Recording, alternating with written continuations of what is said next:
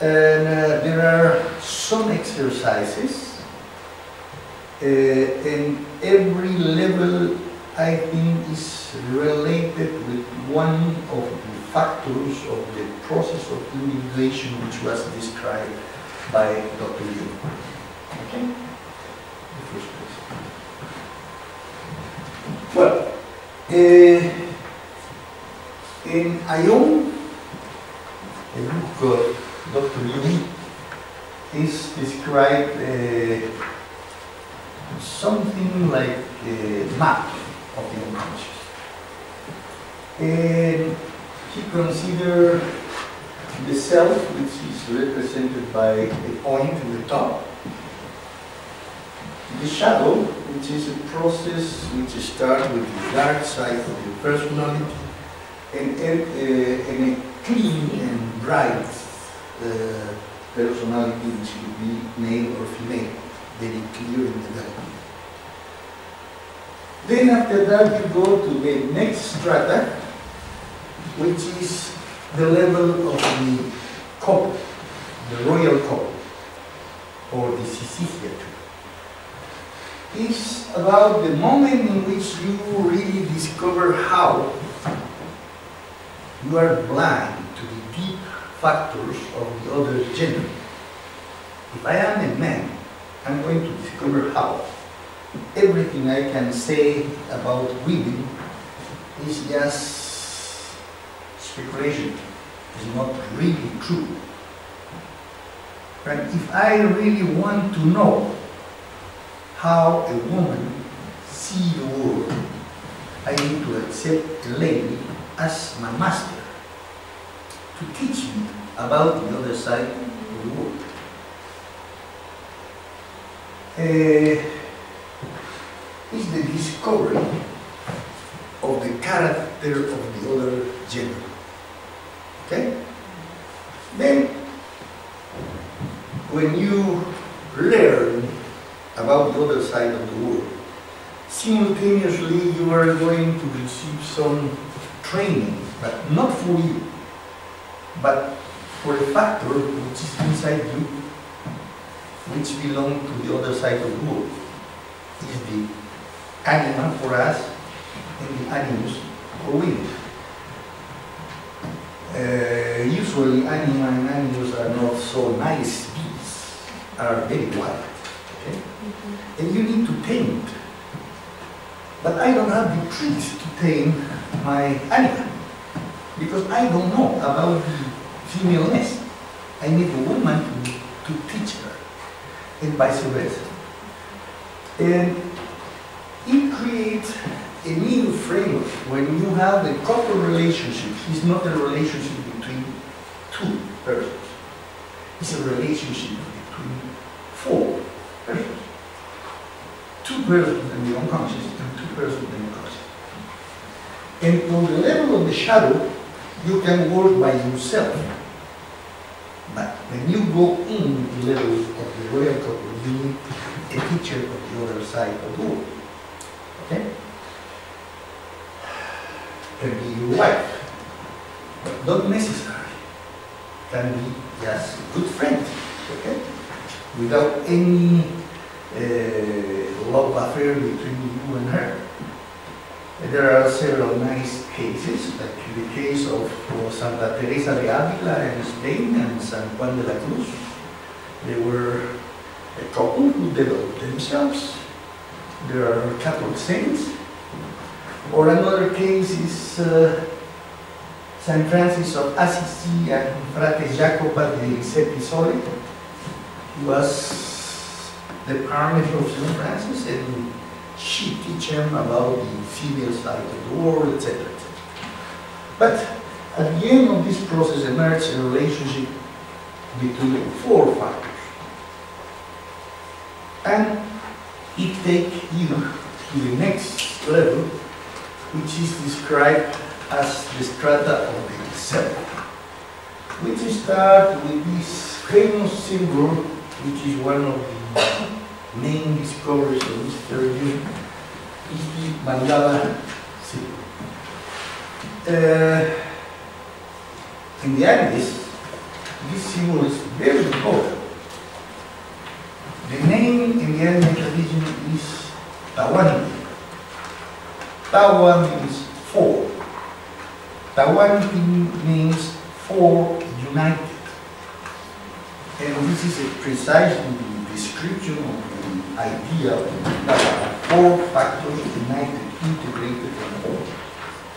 And even the Inca Empire, this big empire which grows in South America, was the Tawantin Suyu, which means the four nations united. Uh, usually the scholars say the Inca Empire was divided in four provinces. No, are the four nations united because the declination T means with. Four within. Okay? Tawantin. Well, and uh, this is a factor which emerged as a sign of the beginning of the third strata of the unconscious according to Dr. Leon. And finally, you have the tree of life, which is a symbol of the development of the cell. Well, uh, we organize these symbols inside of an egg because for us this is the abstract symbol of the metaphysical God of Incas, Viracocha. Even today we have an icon which is the egg of stone like this, which is the image of Viracocha, the metaphysical God of Incas.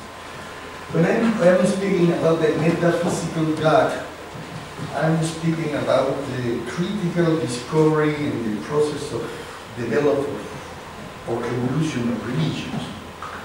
It's like the discovery which was made by Moses under the name of Yahweh, in Hebrew of course, or the same thing than, or the same being which was discovered by Heraclitus of Ephesus under the name of the universal logos, unique the same than Moses, but of course different name in Greek.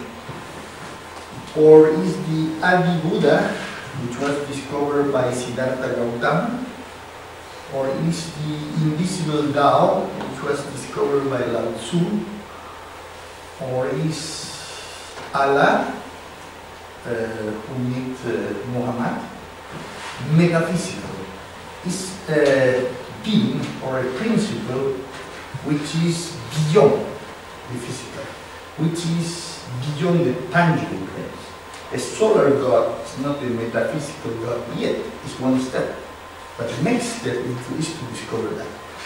And apparently, this metaphysical being or principle revealed himself to somebody who take his name, Viracocha Inca, probably in the 14th century, uh, two centuries before the arrival of the, Spaniards to South America. Anyway, uh, we decided to put it inside this image of an egg because it's the symbol which represents the image of the metaphysical God. But because, but how this is something which presents an image of the wholeness. And the whole process of individuation, according to Dr. Jung, is the process in which you look for your completeness. And probably it is going to accomplish totally after your experience with the tree of life or something.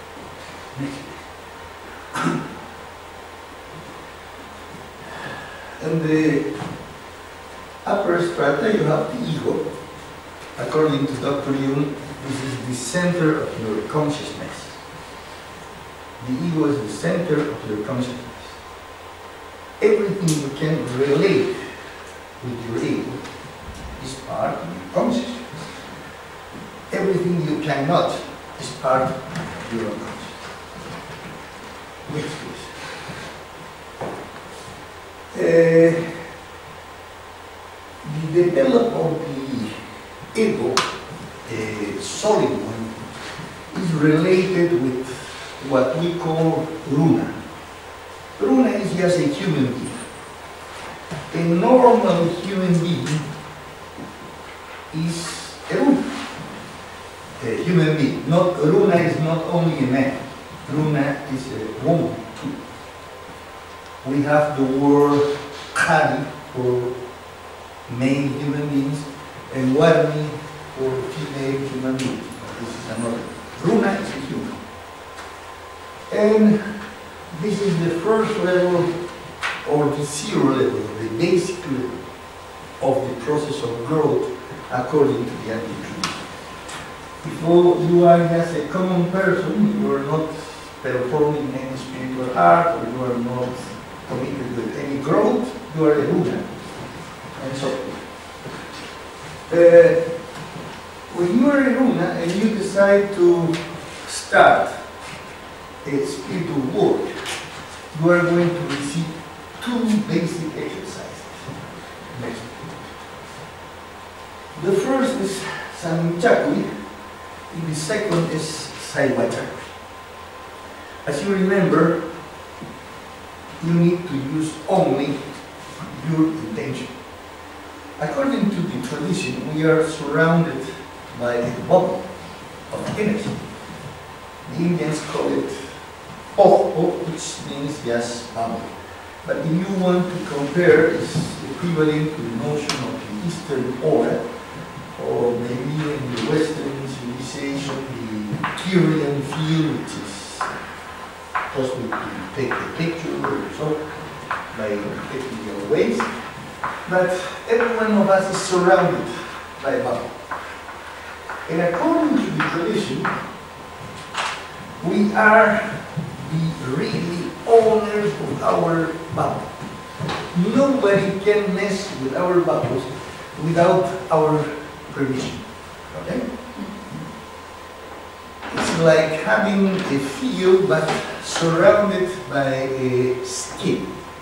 And this skin is like a filter who prevent you to have connection with energies which are not compatible with yourself. Okay? But being the owner, you have the key to open it or close it. To take it to the extreme. Even God need your permission to go in your body. If you decide to close that, even to God, you are entitled to do it. For some strange reason, he or she gave us the free will. And the place in which we can use the free will is our body. We are the real owners of that. Maybe we are the owners, only real owners of that in life, but I think it's enough. You are the real owner of something like that.